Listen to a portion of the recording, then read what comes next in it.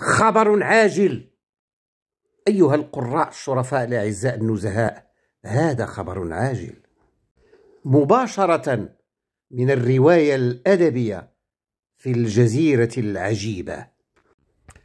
تجارة البرغوث. علم حاكم القبيلة في الرواية الأدبية الإبداعية الخيالية المحضة بأن أقواما قرروا اعتماد الحشرات كنظام غذائي أساسي لهم فكانت هذه المداخلة التاريخية التي جعلت الاقتصاد في الجزيرة العجيبة يعرف تحسنا كبيرا. أي يتركون لحم الأبقار والأغنام والدواجن ويعوضونها بمساحيق الحشرات؟ ما هذا التخلف؟ لا بد لنا أن نفكر في تحقيق الاكتفاء الذاتي من اللحوم والأعلاف لأنها لأننا لن نأكل حشرات ولا طحينها وسنظل نتمتع بمشاوي اللحوم اللذيذة المفيدة. وإذا ارتفع ثمن البرغوث عندهم فلا بد من دراسة إمكانية تصديره لهم.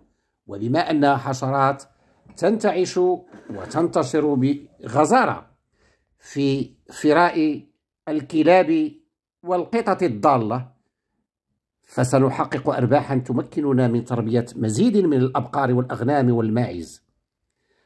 رب ضارة نافعة. يجب منع الأدوية التي تقضي على البرغوث. حتى نستطيع توفير كمية كافية لتصديرها لهم.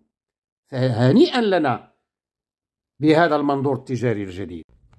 التقط سكان الجزيرة الأذكياء فكرة حكيم القبيلة فصاروا يتركون الكلاب والقطط الضالة تعيش في عفنها دون رعاية حتى إذا تكاثرت حشرات البرغوث في فرائها جمعوها وصدروها إلى هؤلاء الأقوام مقابل مبالغ مالية كبيرة مكنت من مضاعفة قطعان الأبقار والأغنام والماعز.